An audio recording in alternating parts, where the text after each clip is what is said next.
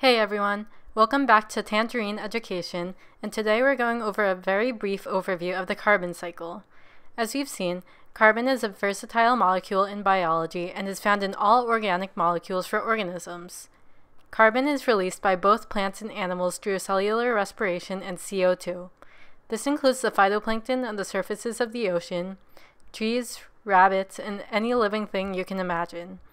The burning of fossil fuels and wood also contributes to the amount of CO2 in the air.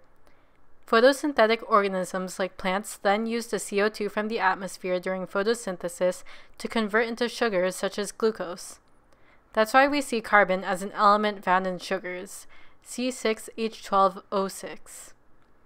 Carbon can also be seen as being transferred from animal to animal through the food chain. For example, the carbon in the grass, which is a primary producer, goes from the grass to this rabbit, and carbon from the rabbit, which is a primary consumer, goes from the rabbit to a secondary consumer, such as the hawk. Carbon is mainly found in the air, volcanoes, fossil fuels, the soil, and sediments in ecosystems with water. Dissolved carbon is also found in large quantities in the ocean. The biggest reservoir of carbon is in sedimentary rocks. One prime example of this would be limestone. As you can see, the carbon cycle mainly refers to the transfer of carbon from one organism to another.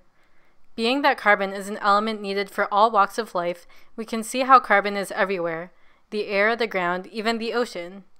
Well, that's all I've got for you on the carbon cycle today. Thanks for watching and check out my nitrogen cycle video.